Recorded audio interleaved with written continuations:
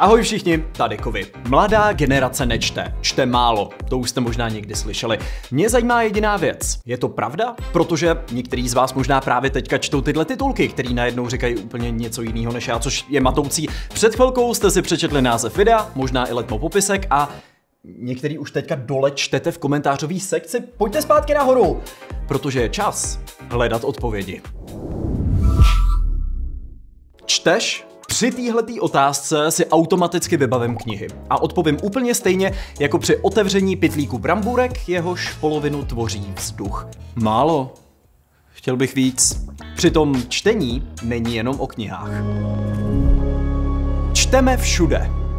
Třeba online, zprávy v chatu, popisky příspěvků, komentáře, články, statusy, tweety, dlouhá omluvná vyjádření celebrit z aplikace Notes – ty hlavně. A taky titulky filmů, her, seriálů bez dubbingu. Já jsem velký fanoušek dubbingu. Konečně veganem dubínku.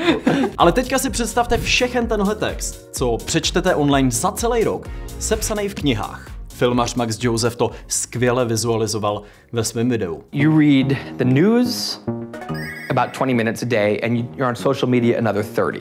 50 minutes a day of those things adds up to 304 hours a year which would be, at your rate, over 30 books. Tohle je 50 minut čtení zpráv a sociálních sítí každý den.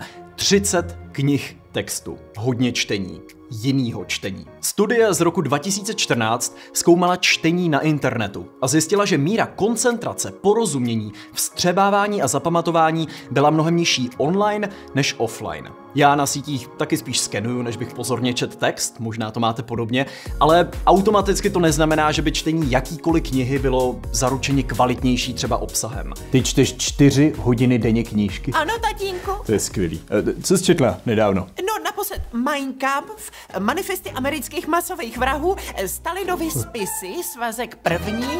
Ale to neplatí jenom pro knihy. Občas se mě na přednáškách stane, že za mnou přiběhne vyděšený rodič a ptá se mě, můj syn je 4 hodiny denně na YouTube, co s tím mám dělat? Já říkám, OK, ale co tam sleduje?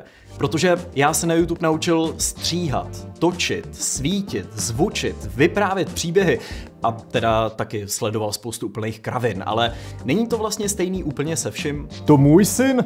Ten není doma u počítače zavřený, je venku, s kamarádama na čerstvém vzduchu. Si píchá pervitin. Jsme se dozvěděli teď. No. Chci tím demonstrovat možná důležitější otázku. Co?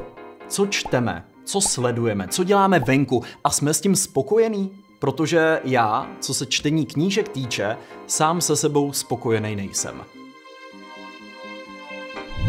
Knihy. Není pravda, že by jich mladí četli míň.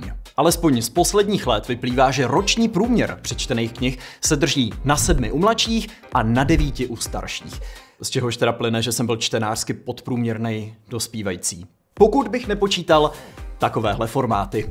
Na velikosti nezáleží. Tímhle já se uklidňuju. No, tak.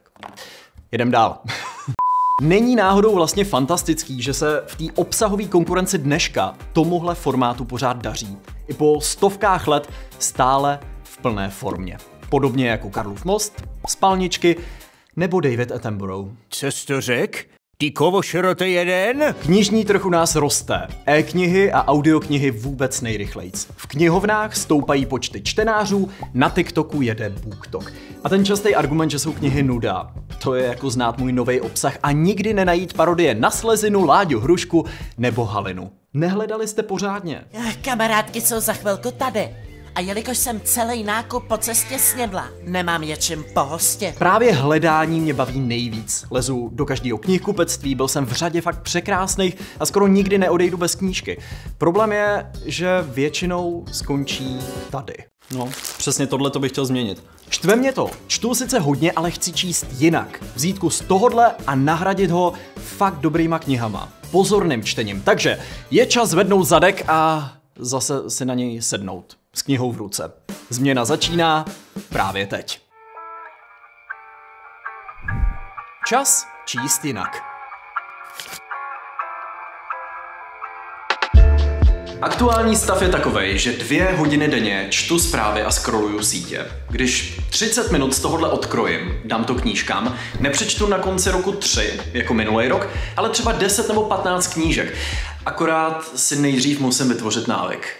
A to se mně povedlo jenom u pití kafe a konzumace čokolády. Jak to bude s knížkama? Nevím. Včera bylo pondělí, očkrtnuto. Dneska úterý, očkrtnuto. Středa, očkrtnuto. Čtu tuhle tu obří bychly. Akorát jsem jí od ledna doteď dočet asi jenom do dvoustý stránky. Tímhle tempem bych jí čet možná ještě přes rok. Ale 30 minut denně znamená, že bych ji za pět týdnů mohl mít hotovou. Co víc, třetí den výzvy a já se normálně odpoledne těšil na to, až si budu večer číst to se mi začíná líbit. Ještě předtím, než si dáme čtvrtek. Malá vsuvka, ukázka z knížky Tomáše Šepka. Přidejte odběr Kovimu, pokud zapnete zvoneček, neunikne vám nové video. Krásný čtení. A pokud byste chtěli tohle téma proskoumat ještě do větší hloubky, nový podcast Log, dialog s Jakubem Pavlovským o čtení knihách a čtení online. Jedeme dál. Co čtvrtek? Očkrtnuto. Pátek. Očkrtnuto.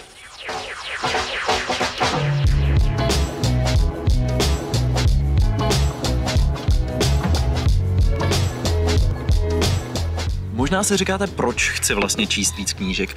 Mně přijde, že kdyby knihkupectví a antikvariáty byly jako cukrárna, tak si kupuju sladkosti a hrozně rád, ale vlastně nikdy neochutnám, nikdy je nesním. Doma máme knihovnu plnou příběhů, postav, poznání, nerozbalený sladkosti.